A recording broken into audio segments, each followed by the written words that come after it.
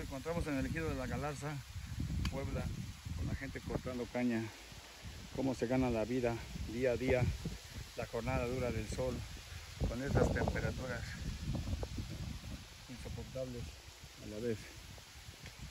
Vean toda esta jornada de trabajo que les toca a esta gente estar cortando la caña. No es fácil, como todos piensan que es fácil cortar caña. Pero bueno, ¿qué le vamos a hacer? Esa es la vida que tenemos que agarrar para dar, llevar sustento de comida a la casa. O sea, eh, día de raya, día sábados. Es que la gente ya no quiere trabajar, está cortando caña esta jornada. ¿Son de aquí, de este estado o de dónde son? Bueno, nosotros ellos vienen de otro lado.